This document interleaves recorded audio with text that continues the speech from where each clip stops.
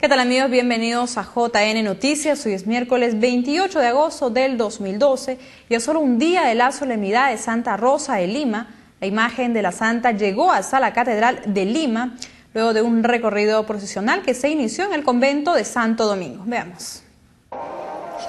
En la víspera de su fiesta, la imagen de Santa Rosa de Lima fue trasladada en procesión desde el convento de Santo Domingo hasta la Catedral de Lima, donde recibió el homenaje del Cabildo Metropolitano. Entre cánticos y oraciones, sus fieles devotos elevaban súplicas y acción de gracias a la primera flor de santidad del Perú.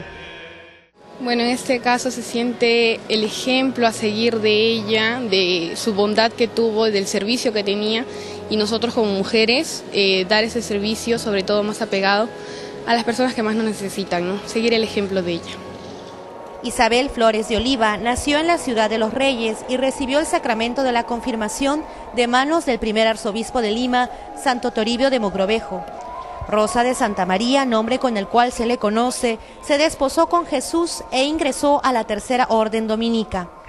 Bueno, nosotros somos seguidores de Santa Rosa de Lima, hermana nuestra. Eh, ella se dedica a hacer labor eh, social en el sentido de que vela por las vocaciones sacerdotales, eh, por las personas indigentes y nuestra labor es la predicación a donde no hay personas, a catequizar un poco, donde los frailes no pueden ingresar así como Santa Rosa lo hacía. Mañana 30 de agosto, fiesta litúrgica de Rosa de Santa María, el cardenal Juan Luis Cipriani presidirá una misa solemne en la Catedral de Lima a las 11 de la mañana. Luego la imagen regresará en procesión hasta la Basílica del Rosario. A las 5 de la tarde se oficiará una misa en el santuario de Santa Rosa, ubicado en la avenida Tacna. Acompañemos estos cultos en honor a Santa Rosa de Lima, patrona de las enfermeras y Policía Nacional.